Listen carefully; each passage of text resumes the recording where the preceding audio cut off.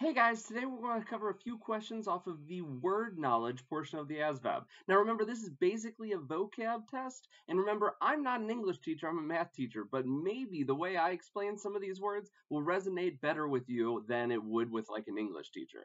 Well, let's go ahead and see by diving right into the content for today.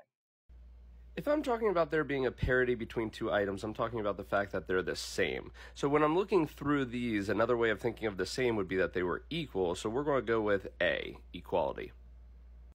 So what is a pundit? Well, a pundit is usually the person they bring in that knows what it is they're talking about. So in this case, when I'm looking through these, in this case, it would be the expert. They're the expert that you bring in to talk about their expertise.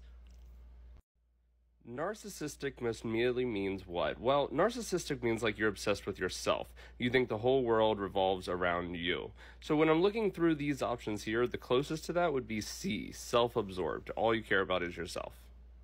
Mesmerized most nearly means what? Well, mesmerized means like you caught their attention, they're like really into it, they can't take their eyes off it, whatever. So looking through these options, the closest to that would be D, to fascinate someone with what they're seeing.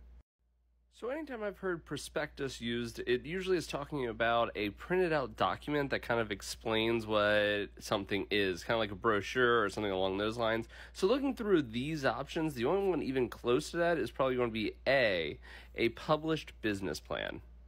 Well, that's all we're going to cover today. Thanks for joining me. Remember, if you want more practice with the ASVAB, go ahead and try clicking on one of these videos over here and keep checking back to my channel because I'll be putting up new videos like this one every week. Again, thank you and have a wonderful day.